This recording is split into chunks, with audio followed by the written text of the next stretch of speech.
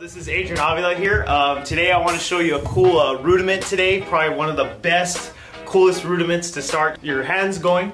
So we have here the paradiddle, right? So we have right, left, right, right, left, right, left, left. So we have right, left, right, right, and then left, right, left, left.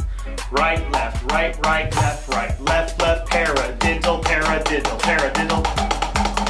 And so I want to show you guys what it sounds like on the drums for, so you can uh, take it home and incorporate your own uh, style. Right, left, right, right, left, right, left, left. And you can even make it as a groove or you can play around with the toms. Right, left.